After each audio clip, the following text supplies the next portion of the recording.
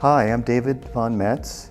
I'm here at the Nicolaysen Museum in Casper and I've got a show here entitled Frequencies. So I do a lot of uh, digital design on Photoshop. I work with uh, photos that I take and do stuff to those photos, uh, transform them in different ways in Photoshop.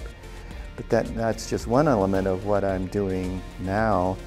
Um, I also work on uh, drawings, pen and ink drawings. I, I love the look and feel of just super black uh, ink on white or near white paper. So, uh, and besides drawings, then uh, I work on paintings.